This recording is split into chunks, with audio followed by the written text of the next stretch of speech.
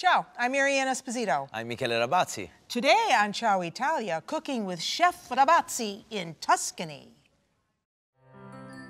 The region of Tuscany is famous for its beautiful countryside, delicious food, and world famous wines.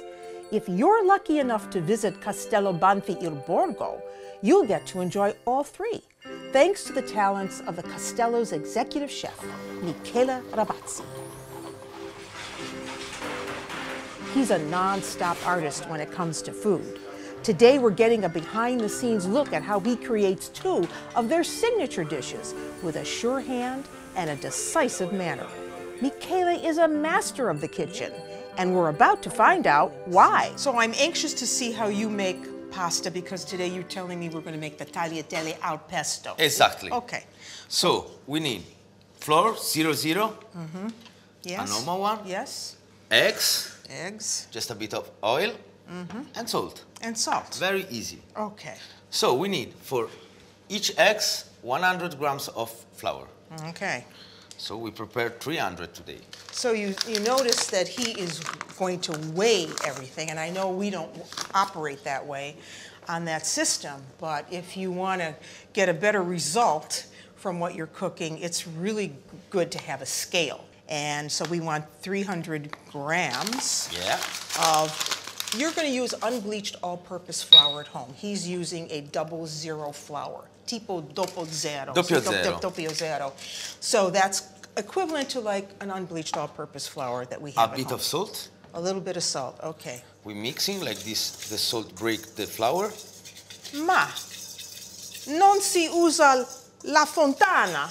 Possiamo fare Possiamo, la fontana. sì. Ma è meglio farla qui per rompere la farina. Okay, so I said to him, I said, how come you're not doing this on the board in the fontana? we make la fontana. And now we make the fontan. And the reason he did this in the bowl first is because he really wanted to mix the salt in very well. Believe me, the first time I did this was all over my shoes, but I've improved. Okay, e si usa cinque, cinque, Tre uova. tre uova. O Okay. un uovo ogni 100 grammi di farina. Sì, sì, tre, okay, that's right, you said that, okay. So.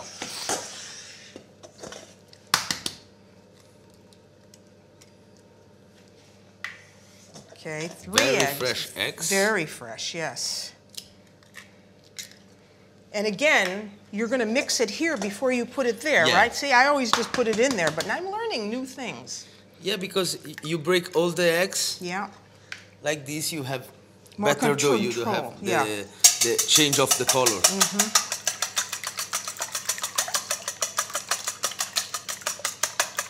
so we wanna whip in a little air into these eggs.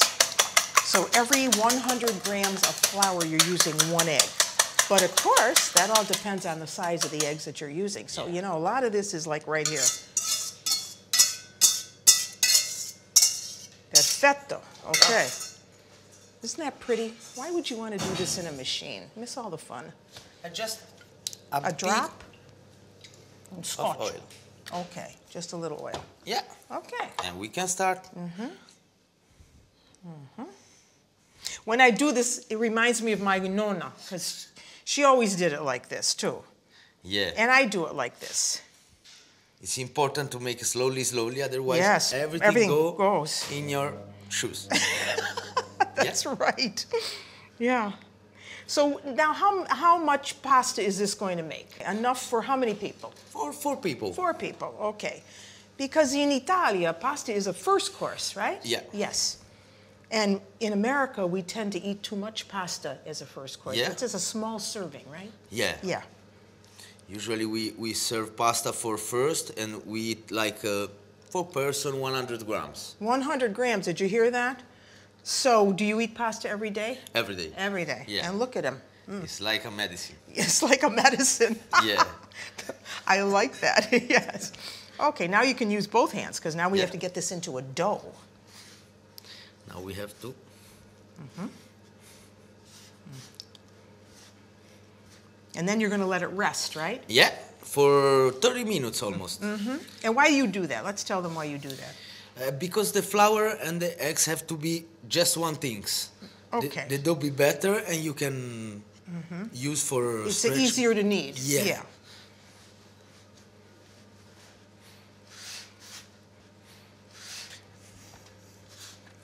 And that our uh, dough. Basta così. Okay. Basta così. Okay. Ready. So now we rest. Let, let it rest. Yeah, just rest. Okay. Okay. Ah, allora. Okay. Okay. And we cover with a plastic film. Mhm.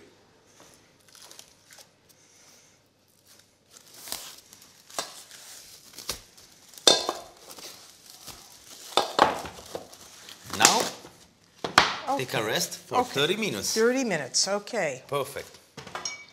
We start to preparing Mm-hmm. our tagliatelle. Okay. So we take a piece of dough and we just arrange a bit. Use a flour, otherwise Mm-hmm. be sticking. Uh, Non si attacca. So it doesn't stick. He's putting flour on the board. okay, And un mattarello. Mattarello. Okay. and we start to make. Okay, Okay. so now it's a bit fine. Mm-hmm. Beautiful.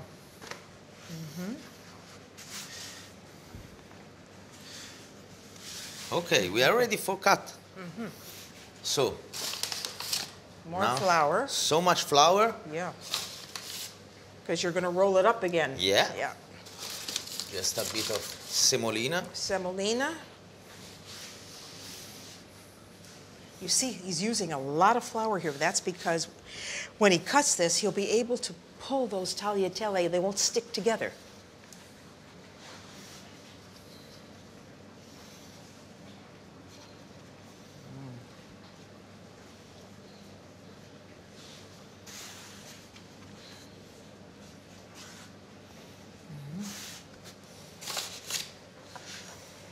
Okay, more flour. And voila. Voila. Okay, and now si taglia. E ora si Si taglia. taglia, okay. Eh? About that wide. This is the size Yes. because if you make more big, it's pappardelle. It's If you pappardelle. make more small, it's uh, tagliolini. It's tagliolini, okay. So you see how easy they, they unfold because he's got the flour on there. If, if you didn't have a lot of flour, you couldn't, you couldn't unfold them. And what's beautiful about this is that each one is different. So it's a handmade artisanal product. And that makes all the difference.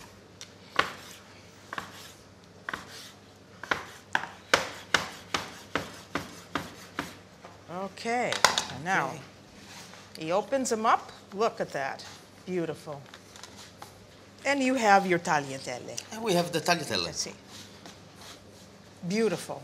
So now you're going to make a pesto sauce. Yeah, exactly. Okay. So first things, our basil. Yeah. We take all the small, small leaves of basil. Okay. Now, you all know that pesto is a sauce that's particular to Liguria, right? Yeah, It's a exactly. Ligurian sauce, but that doesn't mean you can't use it someplace else. Anyway, this is an uncooked sauce. This is a raw sauce, a salsa crude. Cruda. Si, cruda. But here is what is important. Do you see the size of those leaves? They're small. This is something I learned when I was on a basil farm Yeah. in Liguria, watching them make pesto. In fact, they were the pesto masters. And it's important to use the small leaves. In fact, they're so particular that they would take out this little center vein here. So they would pull this apart, take out this little vein in the center because they didn't like that. Well, if you're using small leaves, that's great for a mortar and a pestle. This is a mortar. This is the pestle. This is where the name of this sauce comes from. Exactly. Because pesto comes from pestare, to pound down. And so this is an exercise with your muscles to pound down these leaves with, what are we going to use with it? Mortaio. No, what are we going to put with the uh, basil? Ah, now the the um, salt. Okay, and this is sale grosso, Si. right? We need not fine salt, we need coarse salt. Why? Because the abrasiveness of the coarse salt against the basil leaves is what is going to help you make the sauce. Exactly. Exactly. They break, Break all it the down. leaves. Okay, so now he adds the salt. A bit of salt, and we start to and we break we break the we break, break our the leaves. And you can sing a few songs while you're doing this. You know, I mean, it takes Yeah. time. You you take the writing. yeah, right. You, and you go against the side of the of the mortar to help you First, you have to break break uh, break the all leaves the apart. leaves, and after you go around. You go around. Yes. Okay. So just a bit of Mm-hmm. garlic, Okay. and we continue. And I'll open the olive oil for you because obviously you. we need some extra virgin olive oil to get us to that saucy consistency. So now we're adding cheese. Yeah, we add just a bit of parmesan, Parmigiano and really a bit of pecorino, because it's very salty. Yes, so we have to control the amount of Yeah, salt exactly. we add. So you two cheeses, the Parmigiano And Reggiano, cow's milk cheese, and the pecorino, which of course is pecorino toscano because we're here in Tuscany. A bit of oil, A little and we start again. Okay.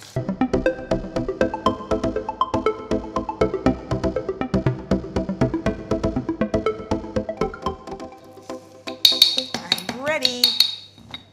Let's try. Posso assaggiare? Puoi assaggiare. Oh, okay, see. First of all, I want to show them the color. Look at that. Isn't that pretty? Okay, going in. It's good? Very good. Perfect. I taste it. Basta così.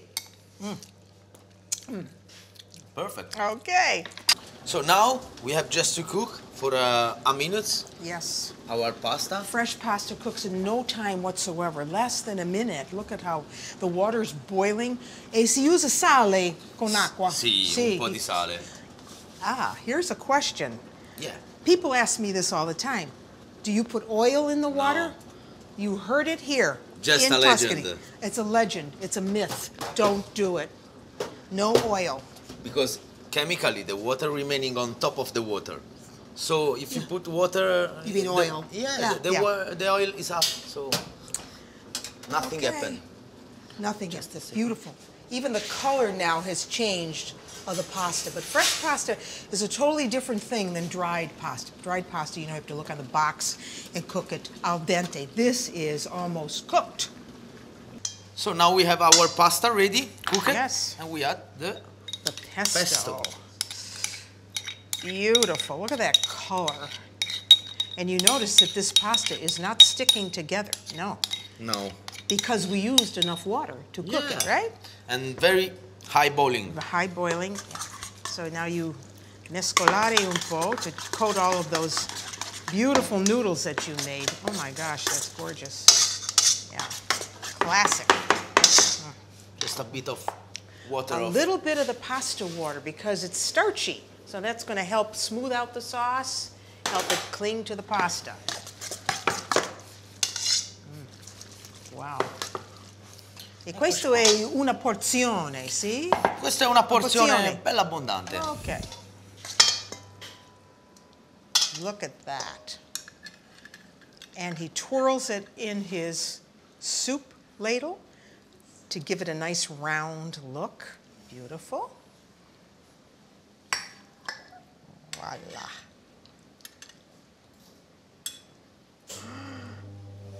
That's our.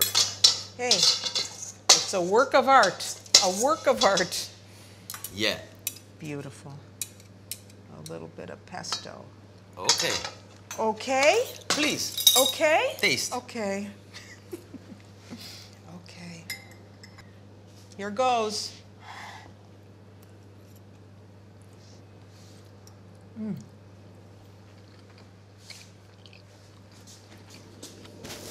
No word. Perfect. I'm speechless. Mmm. Try. What do you think about? Hmm. I think. I think. I can't think. It's too good. Perfect. I can't think. Okay, now you're going to make a very unusual vegetable strudel. Exactly. Okay, so how do we start? So we start with our vegetable Okay. We have so to we clean. And cut in a small cubes, like a small ratatouille. Okay, so. And where did you get this recipe from? This recipe come from executive chef. It's a recipe we do like a starter or main courses. Okay. It's up to you Si lascia così. Sì. Okay. with the skin. Mm -hmm. So leaving the skin on because the skin is good, right? Yeah. The skin is have good. The, all the vitamin and everything.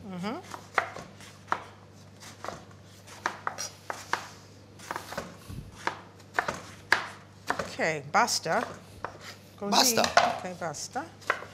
Ok. Okay, so for this, he's going to do this in a puff pastry, which is something that requires a lot of time, right? Yeah, Molto tempo. that's why Okay. I already prepared. Okay, so in padella. In padella. Ecco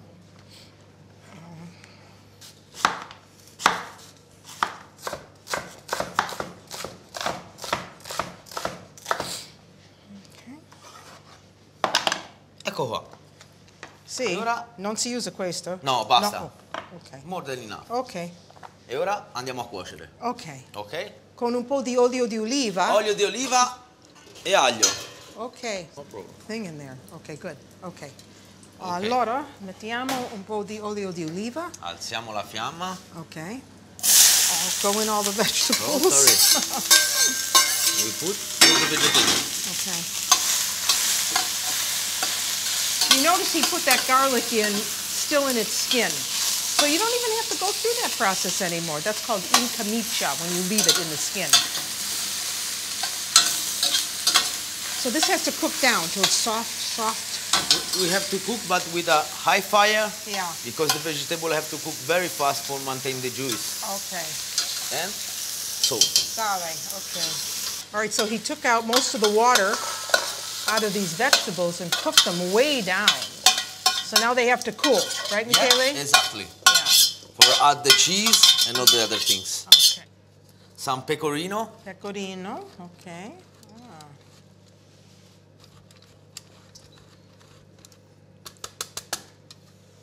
and parmesan cheese. E parmigiano, ok. Due formaggi. Sì, Uh, due formaggi. Due formaggi. This is going to be good. Is this your idea? Not my idea. it's not my idea.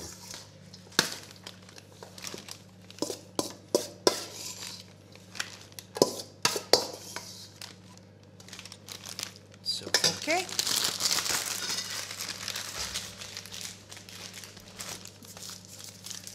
that's it. Now he cuts the tip. Yeah, we have to cut, Cut, here. cut. But we wait sì, sì. for Okay, for the- making the the dough. The dough, okay. Tutto nel tagliere. ok. Tanta. Tanta. Tantissimo. Tan- Tantissimo flour, ok. Sì. Tantissimo farina. Ok. Ok, va bene? Va bene. Ok. And Over the top, sopra. Okay. Oof. That's a lot of flour. much flour. Yes. then we start to rubbing the pasta.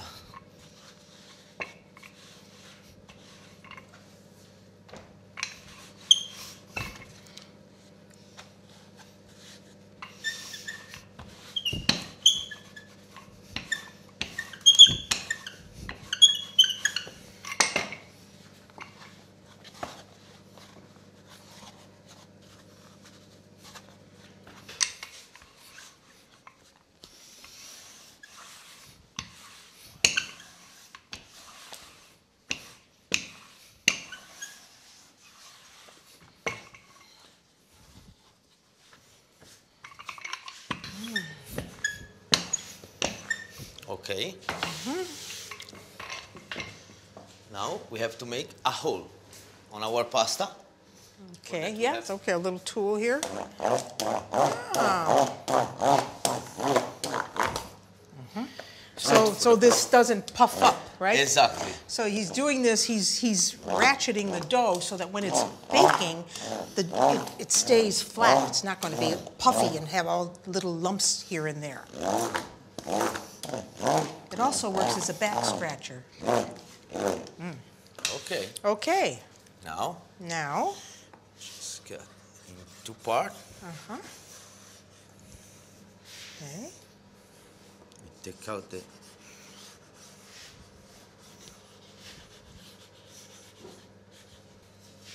we can start to prepare. Okay. Oh, okay. Look at that, how beautiful. See, because the vegetables are so soft now and he diced them, It's coming out of the pastry bag very easily, just putting a little pressure on the pastry bag. Beautiful. Ah, si taglia là. Mhm. Tagliamo.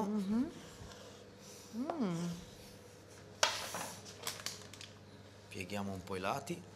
Ah, eh.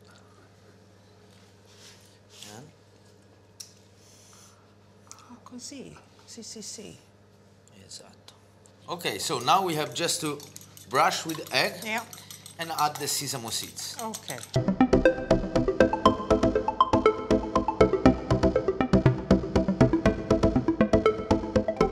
Bene così? Sì, e ora ok. andiamo in forno. Andiamo in forno. 200 gradi, 15 minuti 15 minuti. e andiamo a fare la salsa. Now we're gonna make the sauce. A bechamel sauce is one of the mother sauces Exactly. of Italy. Okay, so we need some butter, right? Yeah. A one spoon. spoonful. Yeah. Va bene? Va bene. Va bene. Okay, and so you melt the butter, and now you need some flour. I usually do this in equal portions, equal parts of butter to equal parts of flour. Okay. So when the butter is melted, we'll add the flour. Then we're going to add the milk, and he's doing something a little different with this because he's going to add saffron. See, zafferano. And saffron are those little threads that come from the crocus flower, and that's why this is very expensive. So expensive. So expensive because it's painstaking to take those little pistils out of the crocus flowers. So now we're going to add flour. You want to make a blonde roux, biondo, see? Yeah. Un po' più? No? Just a bit Pizza- of it. pizzico. Un pizzico. Okay, va bene? Perfect. Okay, good. So now we have that. So you make a blonde roux. In other words, you don't want to brown this because you want the cream sauce to remain pretty looking, so you don't want to Yeah. brown it. Okay. We add slowly, slowly. Slowly, and we've got the saffron threads in here. So now we add the milk. Okay, wait a second. a little bit at a time, whisking all the time, so Wait, that we make a a nice, smooth sauce. And this is going to go with the uh, the rolls. What do we call those again? The um, the vegetable strudel that uh, Michele made. Now you put salt and pepper in here, right? Just a bit sa- salt, salt, but and no pepper no because pepper. you have saffron. Right, th- that's right. Very the good. zafferano. Okay. taste.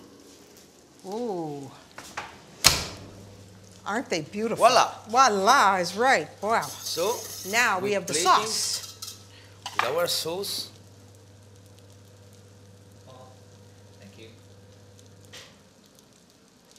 Beautiful color with the saffron. Yeah. Okay. Then yeah, you notice he has asbestos fingers. Okay. just some bay leaves for Aw. decoration. Yeah. Just a bit. And that's it. Beautiful. I'm hungry.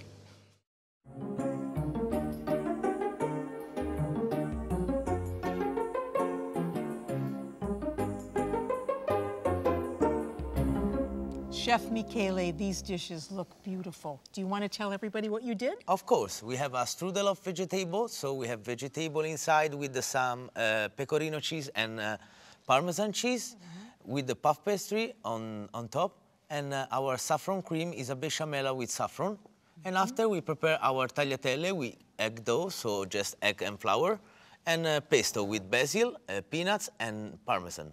Beautiful. You can be sure I'm going to make these at home. But I want to thank you for having me in your kitchen. Thanks so, you. chin chin. Cin cin. And until I see you nella cucina again, sono Mary Ann Esposito. Michele Rabazzi, Ciao. ciao!